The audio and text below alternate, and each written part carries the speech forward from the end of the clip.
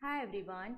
Question is based on mitochondria and the options are option number 1 is by